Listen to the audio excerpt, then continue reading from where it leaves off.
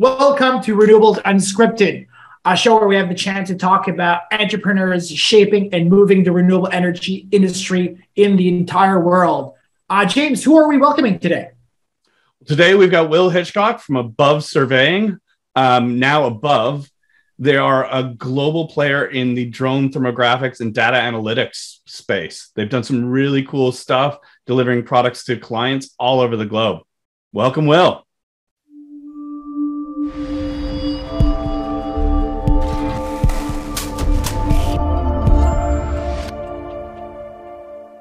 Welcome uh, to uh, Renewables Unscripted. Will, thank you so much. It, it's amazing that you're here. Uh, we've crossed paths a number of times over the past, I want to say, almost decade, it seems like. Uh, yeah. Or maybe time together just feels longer. Um, so, what? just for our viewers here, uh, you want to briefly give us a history of above surveying and like, or above, pardon me, in, a, in like 45 seconds? What's the elevator view of above surveying? Yes, so Above is a is an aerial inspection and data analytics company focused on utility scale solar industry. So started out life um, primarily doing aerial thermography with drones, um, but we've we've developed a whole range of other kind of aerial related service offerings in the sector, but but also a software platform that that goes beyond just aerial data um, so yeah, software and data and and aerial inspections. Love it, love it. And, and it's funny because I, I know a bit of your background as well, and you, you started way back in technology and then got into solar. How did you end up putting those all together one day? What was what was that trigger point that suddenly said, you know what, we're going to mash these all together that I've done my history and do some really cool stuff? Yeah, so so I, I'm one of these classic examples of someone who spent a lot of time working in a soulless kind of corporate environment. Sorry, ex-employer, but um, you know, I cut, I did a lot of work in technology, in banking and legal, um, in the city in London, and needed something more meaningful in my life. And I kind of got into solar. My background, right, is a far, I'm a farmer's son, so I grew up on the land, understanding weather and nature and and energy actually. Um, and it sort of all sort of coalesced into hang on a minute, we need to do something about um, you know decarbonizing our energy and sort of reducing our impact on the planet. And that's where the whole thing started. Um, and that led on to I put solar on my house 14 years ago, solar thermal, so solar PV. So I've always had a bit of a penchant for solar. And then my background, I actually am a private pilot. So there's something that's slightly at odds with my environmental credentials, but I've been into flying and aviation. So it's a kind of a mashup of tech, flying things, and solar. Um, and that's what culminated into, into above. But really, the business opportunity became very clear while running an EPC during the UK boom um, in terms of the need for these kind of services. Yeah. So, so what was the first sale? What was the first pitch? It was it the first pitch like, hey, solar, I can look at things from above, pun intended, and yeah. give you some insights? So, what, what, was that first value proposition, that first sale, and uh, and how did it go? So, so I think the kind of like eureka moment was so we started using drones to do construction monitoring during 2014 and 15 during in the UK. Um, and this was at a time, I think the real kind of the, the catalyst was the fact that the UK boom time was the biggest solar assets being built in Europe at the time. You know, Europe, UK had bigger assets for whatever reason. The the subsidies and, and everything around it supported bigger assets in the UK than perhaps had been built previously, and certainly in mainland Europe. Um, and there was a lot of institutional money coming into the industry as a result of that. Um, and as a result of that, there was a lot more due diligence and sort of contractual kind of governance and control around these projects. So quality assurance, I think in the UK was, you, I, I would say it was probably taken to another level that had been previous, you know, previously in the industry.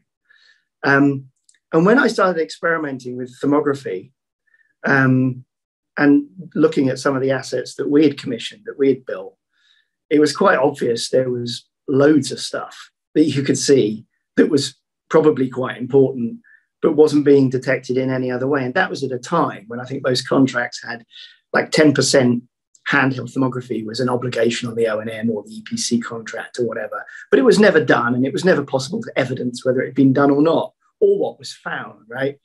So, you know, I kind of knew we were onto something. Um, and then it was just a case of knocking on a few funds' doors in London and saying, hey, you want a bit of this?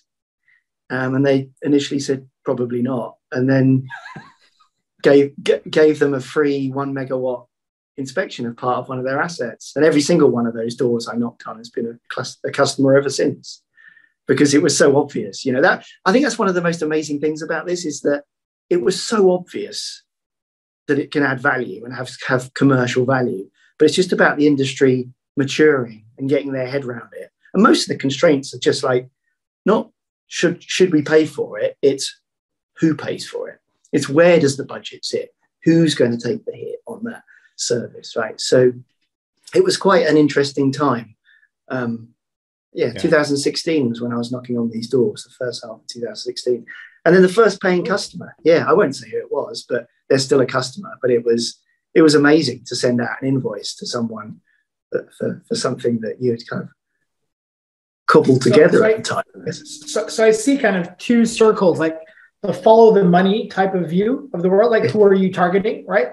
I think now it's like who's paying for it, but at the onset, really kind of a follow the yeah. money. And I think that's a interesting kind of tidbit for for anyone uh, starting a business. Like yeah. who has the who's holding the purse string, who has the most to gain from from a service is a good yeah. Kind of view of the or the most to lose long term.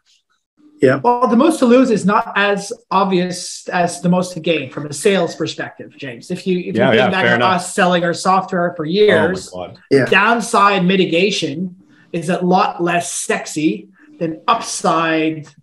Uh, and that's sometimes it's, it's two sides of the same coin, right? Yeah. Um, yeah.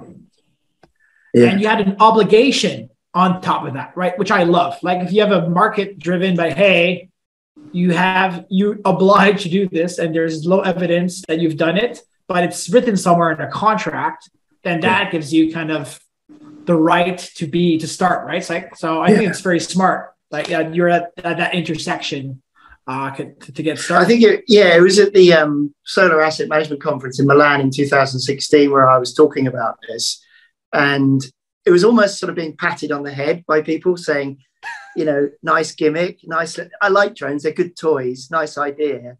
Yeah. Um, and yeah, I mean, roll the clock on four years, and now it's in the best practice guide in in Europe and is commonplace throughout the world in terms of a of a of a, a smart way of looking at the conditions of of millions of modules in a field, right?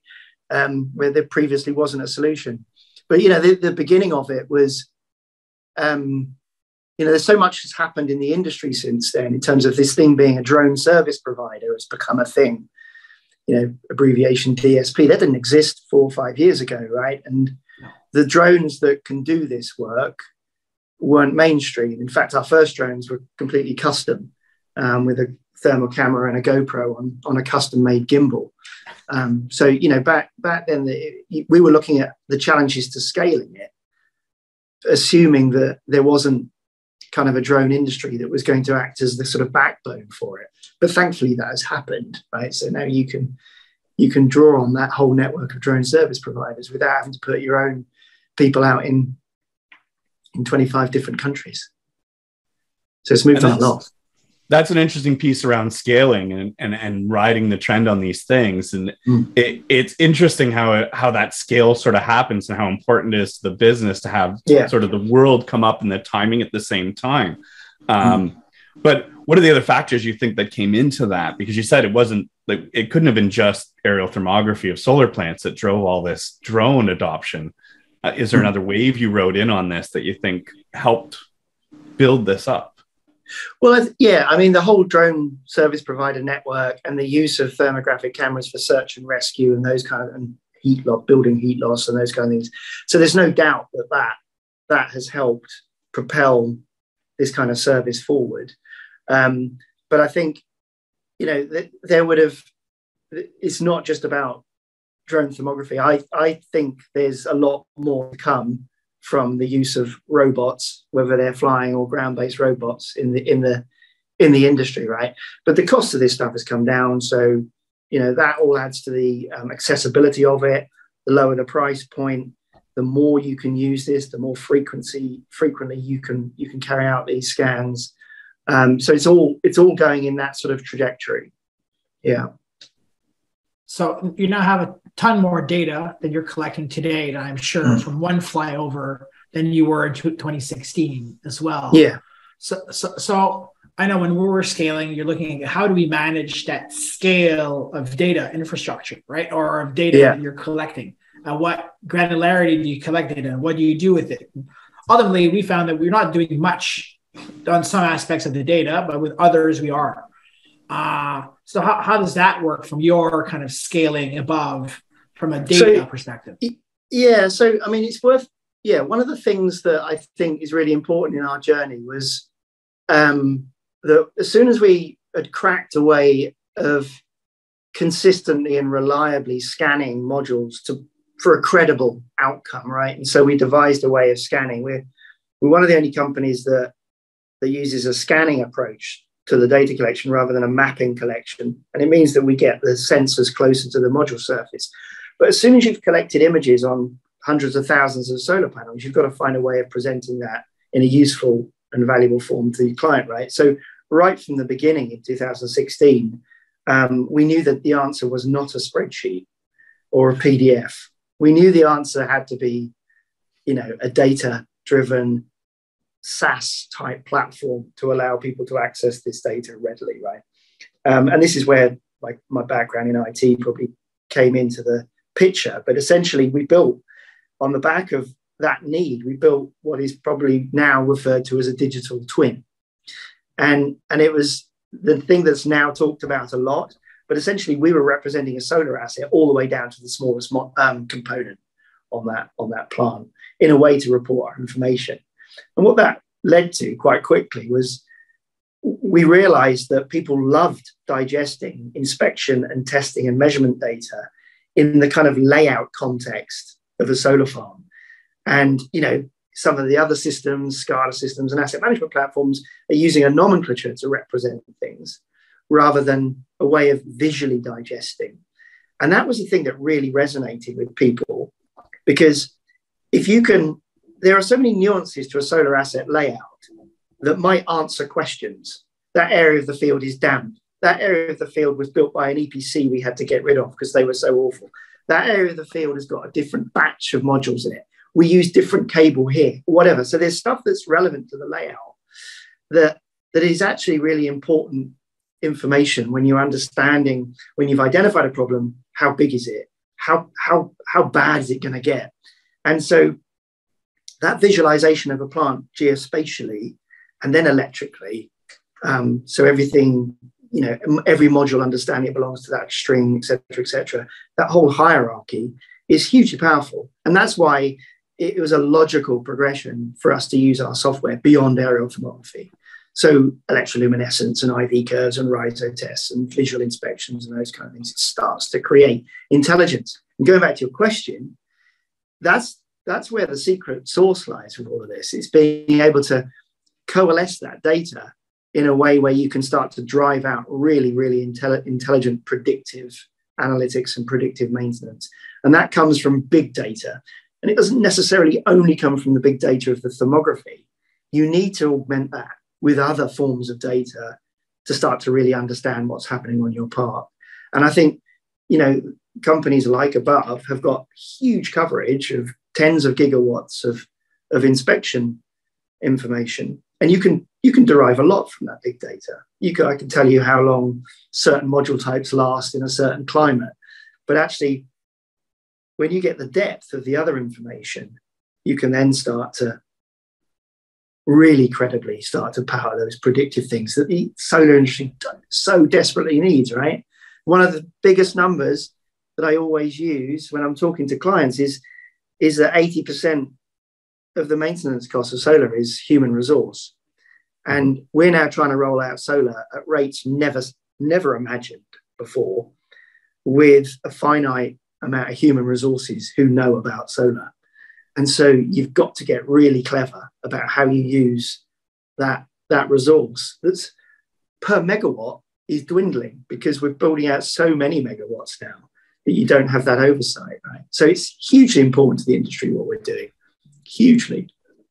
I love it. I, I think here the, the important part is I'm going to bring it down to the user experience. Yeah. So how, how do you derive insight? I think that's what interesting that you're talking about is to focus on digesting the information. Because I think it's a problem not only in solar and wind uh, and renewables in general, but in a lot of other mm. industries. There's just actually too much data. Mm. There's, we're not. It's not a data scarcity problem. It's a data yeah. overflow problem. More yeah. Than so, so I think that's that's a great piece of advice. There is thinking about how you visualize and use that data. Uh, and I know when we first met, talking about layers of data, right? That's yeah. I think I remember yeah. our, our, initial conversation. Yeah, yeah. We had part of the equation. You had another part of the equation. How do Correct. we yeah. bring it together? Yeah. Uh, so I think that that's a really important thing to think about.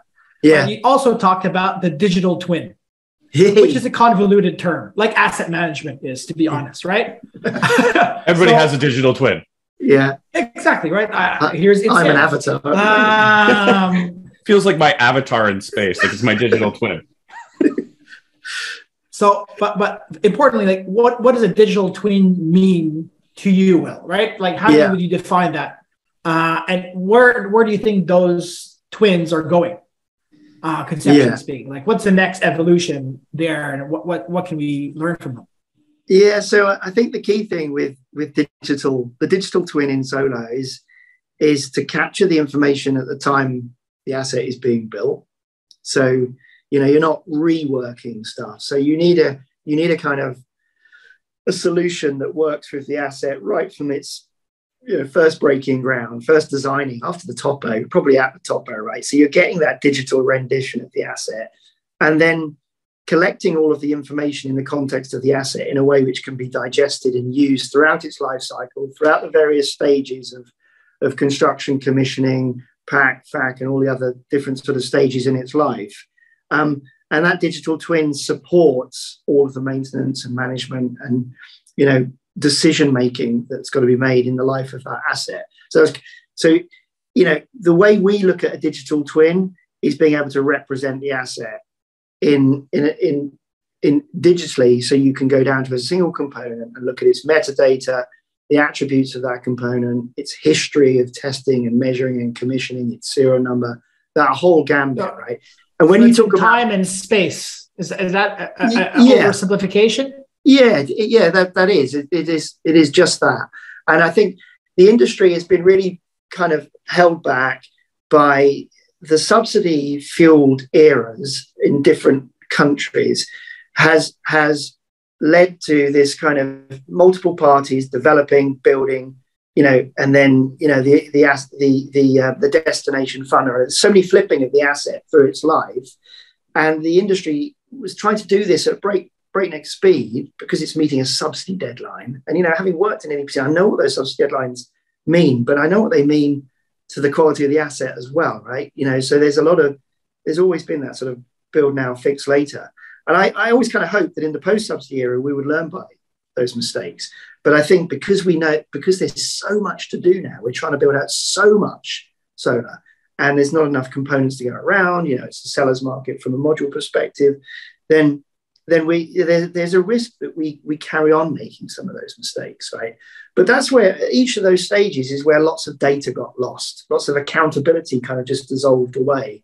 And I think if you can capture, you know, like the scenario I was explaining before, where if you knew that those transfer cables in that area of the site had got a whole lot of repairs done to them because they got damaged in the install, and then you see t- 10 years later, RISO problems on that side of the site, you can correlate, right? You can start to say, that that relates to that history of the asset, and that would yeah. speed up resolution. It, huh? it, sounds like you're bringing a lot of history into this and yeah. bringing that so you have context to the current state of your asset, and yeah. that that history is so important to not only save money going forward to the people mm. who are mm. using the data, but can predict it in what it does. So, yeah, hey, we've seen these trends. Look for them in the future, and this is the that that real piece of information that's going to bring the industry to the next level.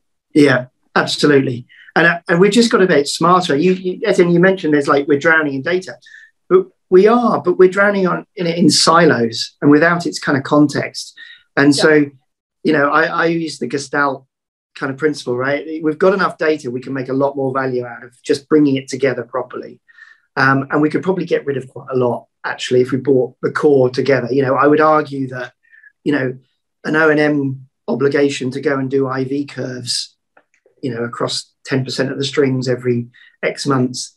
I don't know. I, I, I question the value on in doing mm-hmm. th- that amount of testing if you're doing drone thermography, for instance. So there's a, there's some efficiency to be gained in some of this as well. When we bring this data together, we can probably trim things back and still get a better outcome. And lower costs in the making, which mm. is paramount to the success of the industry in the future. Yeah. Yeah. Uh, so I, I, think I think that's an interesting insight, and I, I, know I've been a big fan of standardization, especially on the contract side for for a long time, which it still hasn't really happened. Let's be honest. Um, mm-hmm.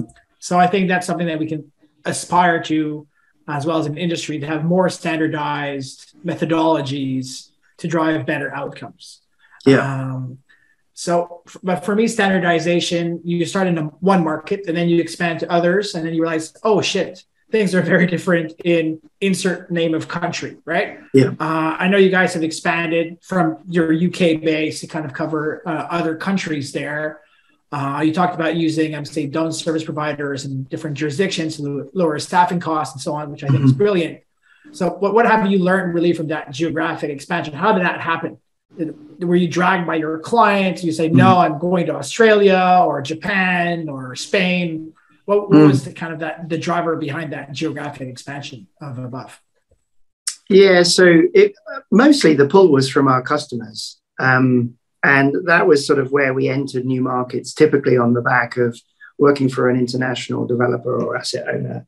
Um, and they like what we do, and they would ask whether we could do it in, in, in those other countries. So, yeah, our first foray, I think, I mean, it ended up across Europe and, and beyond, but you know, sub-Saharan Africa, South America, a lot of that work initially was on the back of European customers, um, and now we've you know we're building um, business development function to allow us to start to grow the domestic relationships in those markets as as the solar industry grows. Um, so yeah, it was yeah I remember yeah the first foray I think outside of the UK was in into Italy um, yeah, and that was that was quite an interesting time because this was again it was before there was dozens of drone service providers. So this would have been, I think, late 2016 or early 17 where we started operating in the Italian market. But we also attempted and pulled it off doing um, uh, not just the thermographic inspection, but actually um, inspecting for snail trails. So using visual imagery to assess the spread of, of um, micro cracks, which were now surface, surfacing themselves as snail trails, right? So we, we, we did an inspection for a technical advisory um, company in, the, in Europe. Um, and I think that was probably an industry first, right? Using a drone to do the, the visual inspection. So we had to do an elevation model of the terrain to get the drone closer to the module surface. Um, and yeah, it was a much more involved um, process than it would be would be today. But it was it was you know it met a need. That I think it was a secondary market transaction we were supporting, um, and it gave a whole lot of insights that gave some commercial leverage in the right place. I think. Um, cool. But the Italian market's been interesting because the other thing about when you move into some of the older markets is you see the things that are happening on the older assets, right? So that's been hugely useful for us as a business because we're effectively getting a window into the future into the into the newer markets um, because the module technology hasn't changed significantly um, in a way that means that that data isn't representative of what's going to happen in the future. In fact, it's been you know rather worryingly similar in how it's playing out in other markets. But it's been yeah, it's almost like getting that lens into the future, seeing how assets are aging, seeing what problems that starts to cause, and then you know, applying that to a to a market where those assets are starting starting to reach that that spot. I mean, we're seeing that in the UK market now. So you know, assets are coming of age in the UK. I'm, I'm you know, reminding our our clients that they have a 10 year product warranty on their modules that they might be might want to be mindful of. Um, yeah. And so, yeah, it's it's been useful. Cool, cool. And and I love the idea that you talked about how emerging into different markets and developing new things. And and when you started, there was there wasn't a lot of drone providers, but now mm. it seems like there's a ton of them everywhere, and mm. and they're growing, and there's tons of things. But how has the innovation, like you've seen in Italy, helped really drive you and keep you at the front of the list uh, and in the front of the line here? Well, we, you know, so our whole business is about sort of driving the cost of solar down, right? So if we can, if, if we can help the solar industry deploy quicker and decarbonize energy quicker, that's what that's what the business is is here to do, and we're doing that through the use of technology. And and you know, I, I remember when I first joined the industry um, back in 2014, thinking, "Jeepers, they're still using spreadsheets for these huge plants, and they're you know they're trying to track condition of things." And it was quite su- surprising how how backward the use of technology was, and it was a very new market, right? So, um, but it, it was a huge opportunity, and that and that is still a very you know real opportunity for the industry because you know like i said we're now trying to grow even quicker as an industry. And therefore people revert to defaults right? They they start to pick up the spreadsheets again.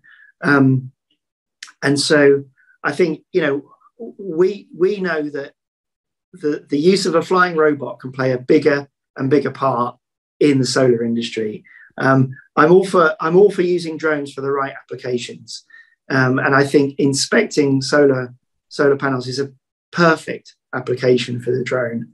Um, uh, uh, I'm probably a little bit more skeptical where I see drones being used to carry water around and try and clean panels. Um, I'm not a big fan of defying gravity for the sake of it. Um, so, uh, yeah, I think the innovation, we want to just get more and more value in terms of credible data, credible imagery from from these drone inspections. And the technology is moving so quickly, I think, you know, it's gonna it's gonna improve massively over the next few years. Yeah. So, so I'll dissect when you said that. I think there's two things to kind of take away. Yeah. One is that uh, you're learning from other markets, and that has application across the different markets, which I think, mm-hmm. I think is great. It's, it's something that we tend to forget when we try to copy paste what we're doing at home in a new market.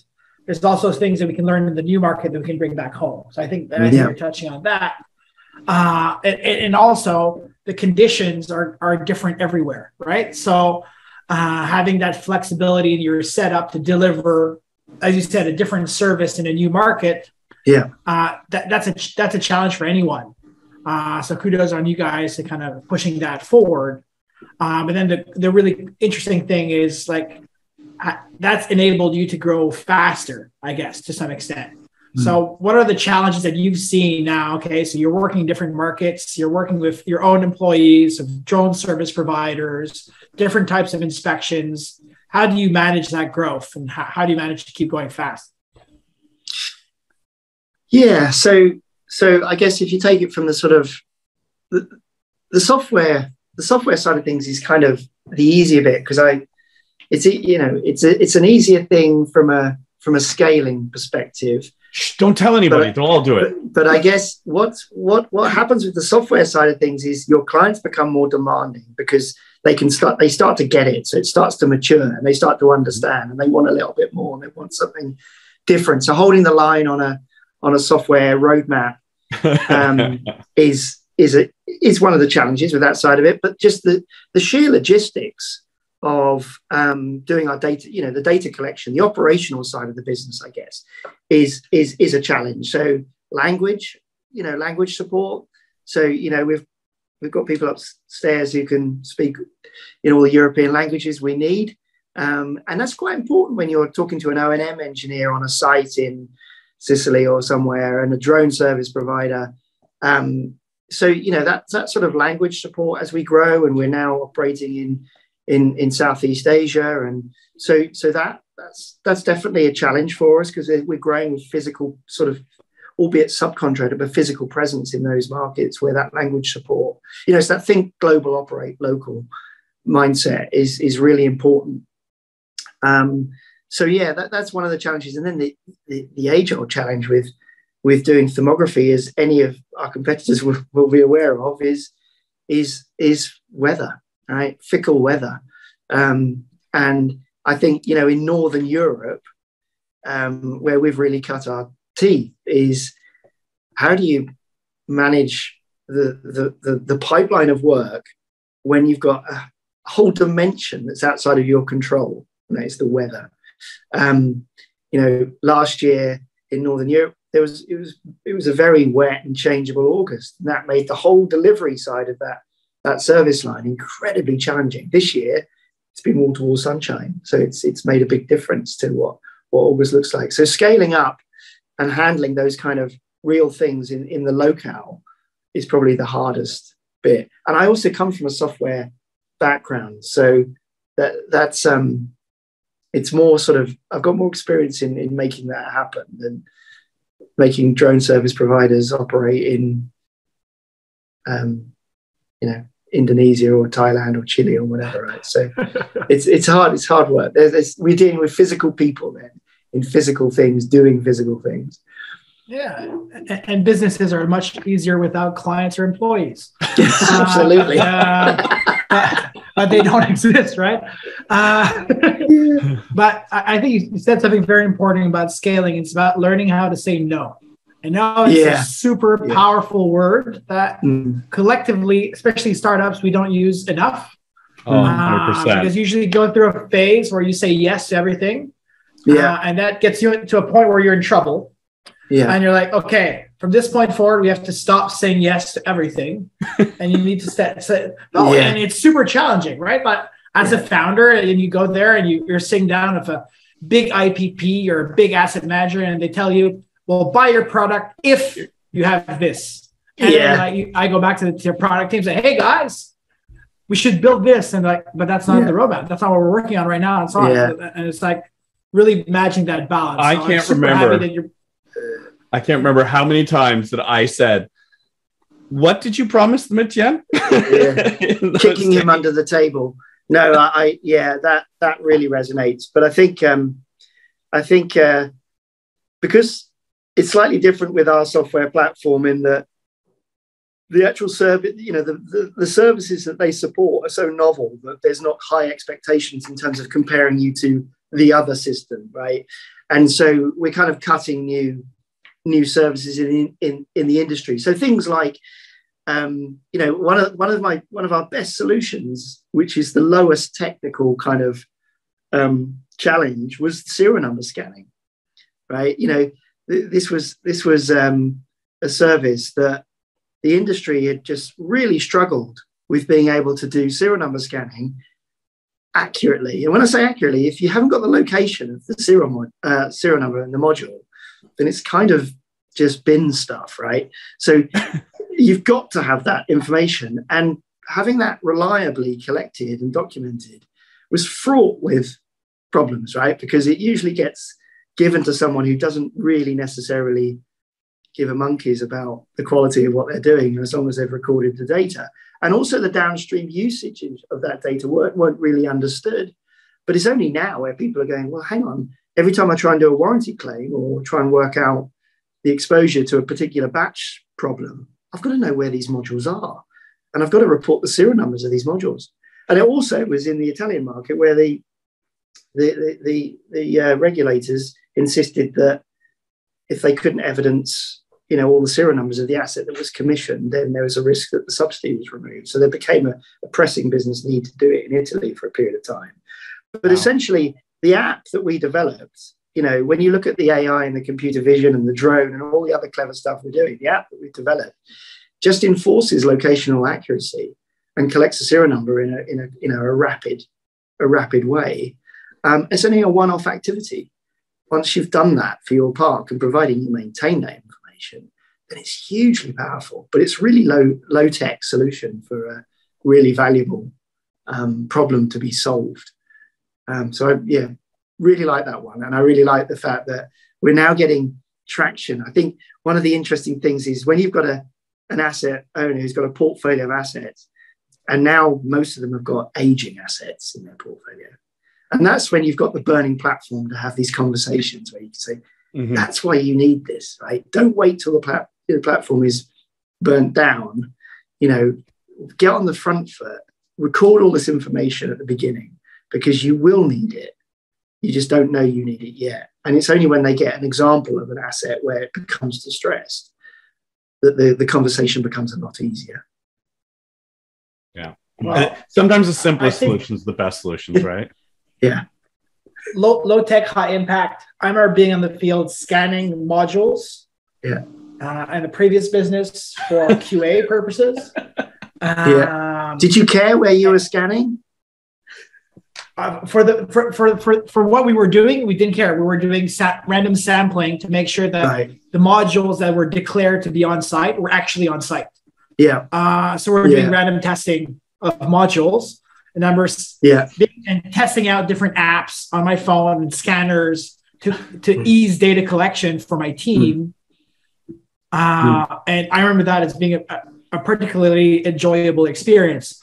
Yeah. Uh, so, Will, I, I, think we're, we're heading uh, about time. So, I love the low tech, high impact learning from markets, uh, going yeah. fast and leveraging the ecosystem that you've talked about. Uh, thank you so much uh, for kind of joining the call today. I, have had a great time uh, sharing and learning uh, from the journey at, at above. I'm just gonna call it that, not above survey. Yeah, yeah, that's good. You're on brand. Um, yeah, I'm on that. Okay, thank you. So, so thank you so much for saying yes uh, to this and telling our viewers how to learn how to say no. Uh, yeah. Uh, so I think that's super helpful. Well, thank you very much for having me along. Yeah, thank you, Will. It's been a great, it's been a great Bye-bye. talking about your journey. Bye.